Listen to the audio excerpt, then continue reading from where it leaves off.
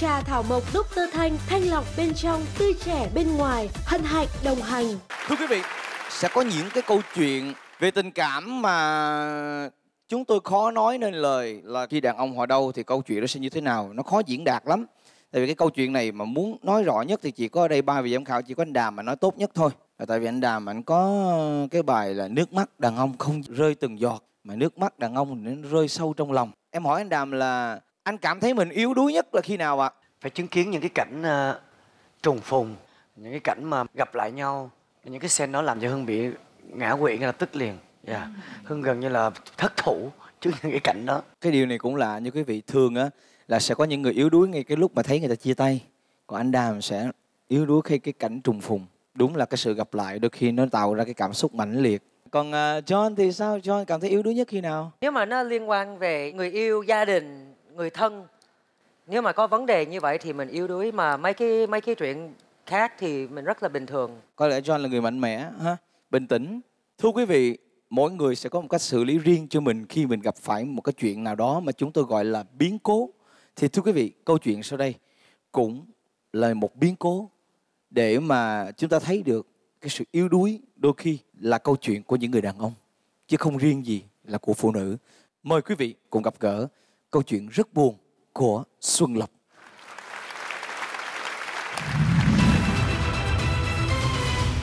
bạn chưa bao giờ mà bạn nhìn thấy một con heo nhảy ba lê đương đại, đúng không? Nhưng mà tuần này mình phải nhảy ba lê đương đại. Chị Hà Anh hướng dẫn cho mình về cách thở. Hai người phải thở như thế nào để đồng điệu, hòa quyện cảm xúc vào với nhau? Mình chỉ thở y như là bị bóp cổ hết hơi. Chị Hà đã hướng dẫn cho mình một cách thở, đó là một ngày và mình liên tục mình chỉ có làm đi làm lại cái động tác đó. Tuần này thì áp lực nhân đôi, vậy là chị hai anh phải chấn an tâm lý hai lần, rất là lo lắng.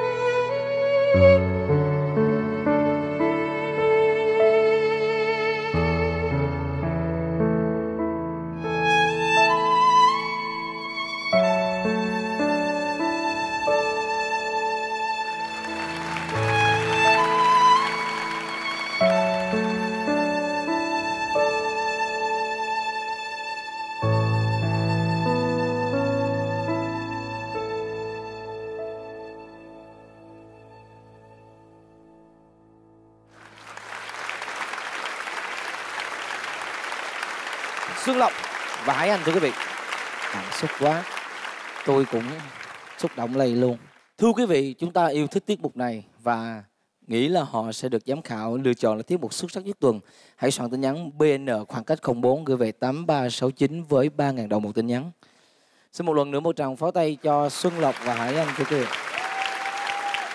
À, đúng là đôi khi chúng ta không phải là tiết mục nào chúng ta cũng ờ, vỗ tay theo từng cái động tác khó mà đôi khi có những tiết mục nó trôi qua một cách nhẹ nhàng để người ta không biết là người ta phải vỗ tay khi nào là vì nó quá đẹp và nó quá mượt mà. Để giây phút cuối cùng sau khi sự lắng động dồn nén lại thành một tiếng vỗ tay cuối cùng. Cảm ơn hai em. À, xin được kể sơ về cái biến cố mà hai bạn gặp. Hai bạn này là người yêu với nhau và cô này phải du học. Anh ta dằn xé nội tâm là có nên cho cô ấy đi hay không? Và cuối cùng anh ta đưa chiếc vé máy bay cho cô ra đi anh Đàm Vĩnh Hưng, anh nghĩ sao về câu chuyện này ạ? Nó rất đơn giản nhưng mà nó sâu lắm. Nó như một lưỡi dao được mài rất là sắc bén, chỉ đem ra để cắt một lần một thôi. Tất cả những động tác, không biết là có phải là chiến lược của tụi em hay không. Ngay từ đầu tụi em dẫn chơi và đã cho tụi anh đánh giá tụi em rất là bình thường. Càng ngày càng ghê gớm và đi tới cái chữ là không phải dạng vừa đâu. Hải anh và cả lộc nữa. Thật sự là anh thưởng thức một cách đúng nghĩa luôn. Cái sự bay bổng, ngay cả khán giả trẻ ở đây nè, chắc gì là họ đã biết gì về ballet hay là yêu thích ballet, nhưng họ thực sự là họ vỗ tay, theo từng cái động tác mà em bay lên và đong đưa cái chân theo. Nó thật sự là đúng tìm được cái khoảnh khắc cảm xúc trong người xem đó, nên là họ vỗ tay ngay lập tức liền. Đối với một cái quả núi rất khổng lồ của tuần trước, đó, mà lần này tụi em vẫn tiếp tục dựng lên một quả núi khác nữa, đó là một bản lĩnh. Chúc mừng xin cảm ơn lời khen ngợi của anh Đàm. Mời Lan Khuê Với cái bài diễn này thì chị dành lời khen cho Hải Anh. Cái cơ thể của em rất căng Và trụ rất là vững. Có vẻ như ballet là thế mạnh của em đúng không? xin báo với chị Loan Khuê ừ em nó sống từ nhỏ với ba lê thôi chứ không có thế mạnh gì hết. Dạ. Báo nhẹ với chị Khuê Dạ. luôn đây là quán quân duy nhất của thử thách cùng bước nhảy qua các Khuê nó mùa. phải có mắt nhìn người mà. Và báo nhẹ với chị Khuê luôn em nó giống chị Khuê lắm. Các bạn có thấy Hải Anh rất giống Lan Khuê không ạ? có giống. Yeah. Tôi cứ lên Facebook tôi lấy hình của Hải Anh tôi ghép với Lan Khuê tôi thấy hai người y chang nhau. Cho chị gửi lời cảm ơn đến à, Hải Anh bởi vì em đã cho mọi người thấy được à, những cái kỹ thuật vô cùng là bắt mắt. Bởi vì em quá xuất sắc cho nên em gần như là bị tập trung vào Thôi Hải Anh. đúng không? Cầu Hải Anh. Cảm ơn ờ, Lan Khuê còn John thì sao? Cảm hứng của cái bài này đến từ đâu vậy? Theo em thấy là Xuân Lộc so với lại các thí sinh khác thì là yếu hơn nhiều nên là em em nói với Lộc là chị rất tự hào khi mà em đi được tới vòng này và em cứ nghĩ như đây là lần cuối cùng em được múa với chị trên sân khấu này. Ok cái thương nó sao Anh hỏi như vậy tại anh thấy cái cách tụi em diễn nó rất là sâu trong cái bài này.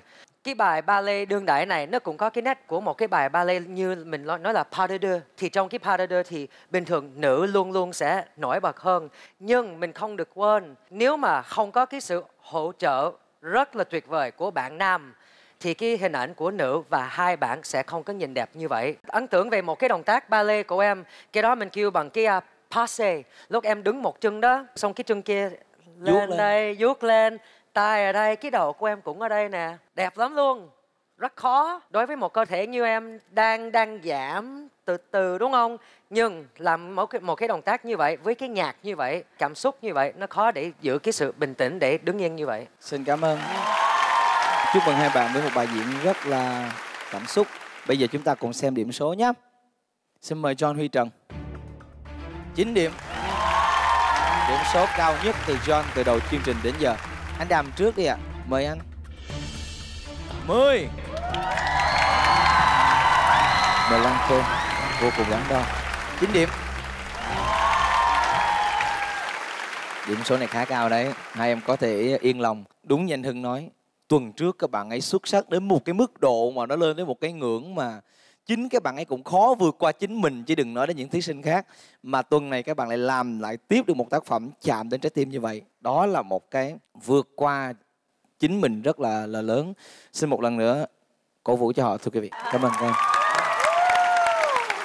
Trà thảo mộc Dr. Thanh thanh lọc bên trong, tươi trẻ bên ngoài, hân hạnh đồng hành.